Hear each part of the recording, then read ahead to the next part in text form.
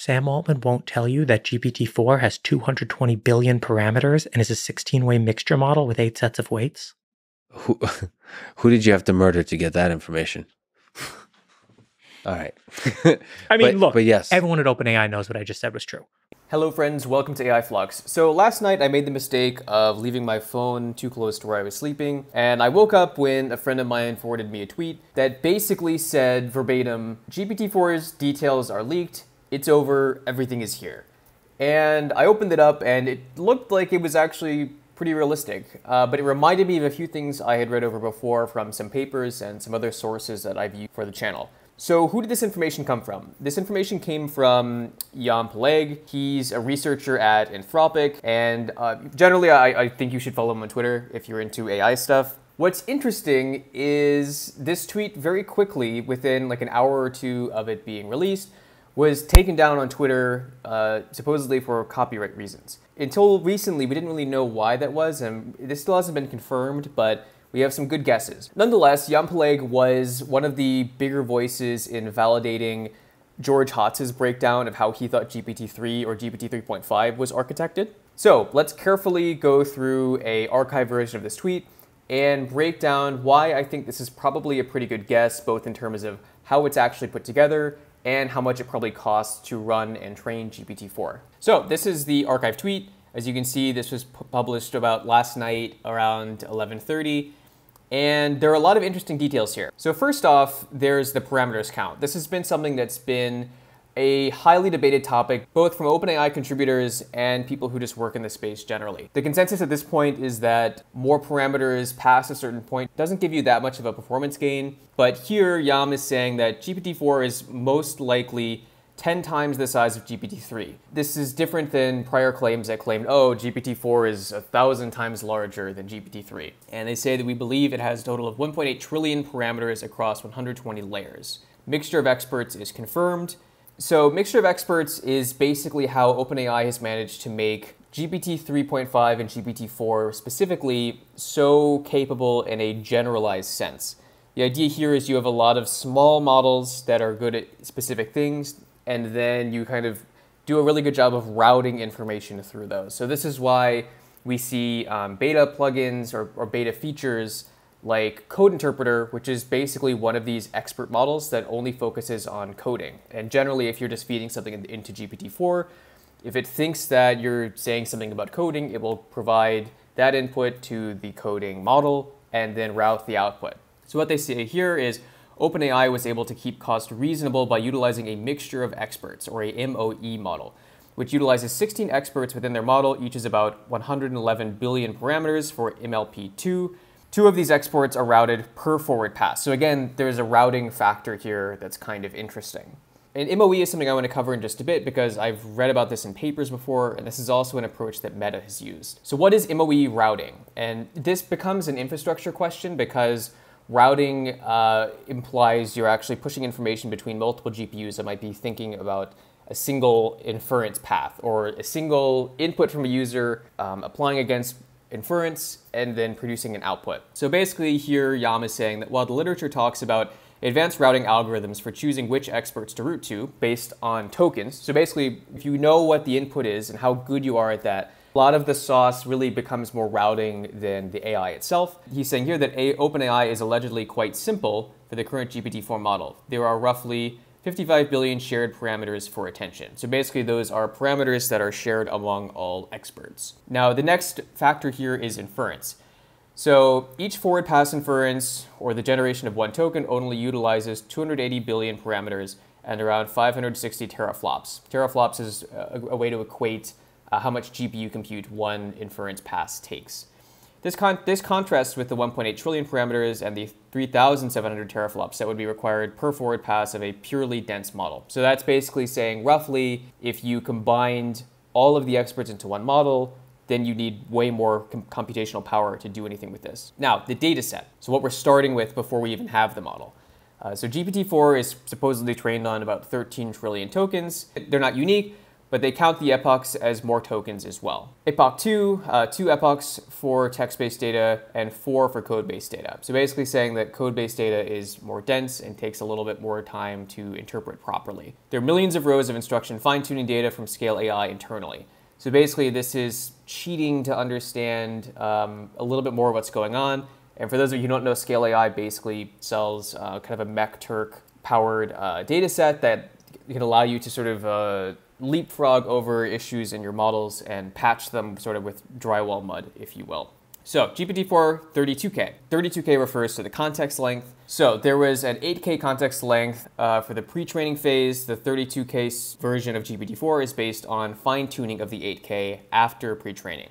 So training is not a single step there is a lot of kind of fine tuning this model and getting it into kind of where it is now, which is why sometimes GPT-4 maybe didn't feel as good as it does now and why it's sometimes slow. Because now batch size. Uh, so batch size was supposedly gradually ramped up over a number of days on the cluster, but by the end, OpenAI was using a batch size of 60 million, which is crazy. This, of course, is only a batch size of 7.5 million tokens per expert, since every expert can't see every token. And again, this is when that routing algorithm to understand which expert to apply to an input really matters. Now, for the real batch size, we have to divide this number by the sequential length to get the real batch size. The numbers have been misleading prior, and I think this is one of the better guesses I've seen. Now, everyone who's read about transformers, which is what has kind of caused this big burst of AI progress, knows that one of the bigger uh, implications of transformers is you can run them uh, in parallel and you get near linear scaling. So this is why the H100 is seemingly so wildly fast compared to uh, any generation of NVIDIA GPUs before it, and it's because GPU parallelism works because transformer parallelism works. So to parallelize across all their A100 GPUs at the time, they utilized an eight-way tensor parallelism that is the limit for NVLink. So this is a very, very solid assumption. So again, you can only parallelize eight-way tensors across an NVLink bus. Beyond that, they're using a 15-way pipeline parallelism. So now for the training cost. How much did it cost OpenAI to actually create this? So the number of flops that was required to train GPT-4 is kind of insane. A flop is a measure of computational power, and what's crazy is to train all of GPT-4, that took um, 25 quintillion flops of compute. So that's 25,000 A100s running for 90 to 100 days, which is kind of nuts. Granted, uh, a pretty low utilization, actually, and the reason why that is, is because sometimes checkpoints fail, so you can't assume the model will just perfectly run at 100% uptime for 90 days. Pretty inefficient, actually, and really, uh, you know, pretty surprising. So the next bit is the cloud cost. So if they didn't have these GPUs and they were renting them, let's assume, you know, right now on Lambda, an A100 is about a dollar per hour, and assuming scale and time differences here, a dollar per hour is a pretty good assumption. So the training cost for the run alone would have been $63 million, which I know sounds like a lot of money, but actually that's an amount that if you could palpably justify to a VC, they would probably give you. And one of the best insights here for me is the comparison of that to H100s. So curiously, Today, the pre-training could be done with just 8,200 H100s in around 55 days for only 25 million, even assuming that these GPUs are twice as expensive to rent. So basically, a third of the cost and yeah, probably less energy as well. I don't know if it actually worked more effectively, but interesting enough to see.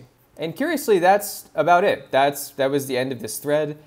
And for some reason, either OpenAI, more likely uh, a blog we've used as a source here, thought this was some kind of egregious copyright leak. Just to give attribution, uh, the source that people think this is, is a blog called Semi-Analysis. So Semi-Analysis, again, I'm giving credit to this. Uh, I, these insights are very interesting. They're linked below. Please subscribe to their Substack if you can afford it. Yeah, so basically they had a post on July 10th as well that seemingly outlines some very similar assumption. And I'm not going to get into it here. In my opinion, their focus in this article was a little bit different. They were more kind of hardware based and more extrapolating um, a cost basis for this. And of course, semi-analysis is expensive, and I think this might have been handled a little weird. Another thing that I think is kind of interesting is this paper called Mixture of experts meets instruction tuning a winning combination for large language models. What I find interesting here is there's a lot of insight that can be drawn from this relative to how GPT-4 is actually set up.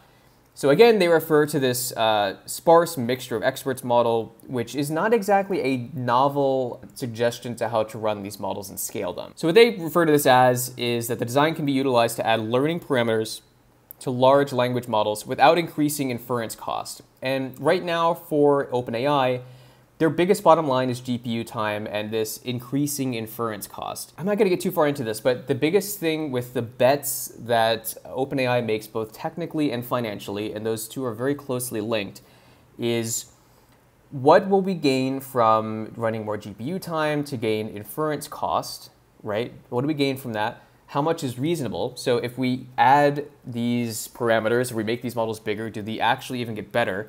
And more importantly, what are users actually paying for?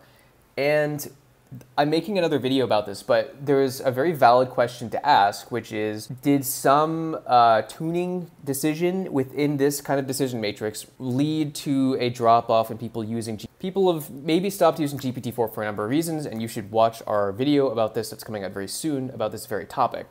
But there's a very valid question that's, you know, maybe they were too conservative with their uh, inference costs. Maybe they thought the gains wouldn't really be that great and they focused on fine tuning elsewhere. I would argue that they've probably decided to focus on Code Interpreter, which I think by far is the most, which for me, in my opinion, as a user of GPT-4 myself and a software engineer, I think if I was a, pr a, prospective customer or someone who was going to buy, say, six licenses or more of GPT-4, Code Interpreter is the biggest win, hands down. So it makes sense you'd focus on maybe more fine-tuning that than making the model more general, because making the model more general isn't necessarily a win-win in terms of giving everyone a value add who's using it. And maybe lots of people using GPT-4 just stop seeing as much of a value add. So, some really interesting information today. Uh, as always, if you like this video or you learned something, please like and subscribe. Again, check out some of the analysis. I, I'm going to give them credit for these insights.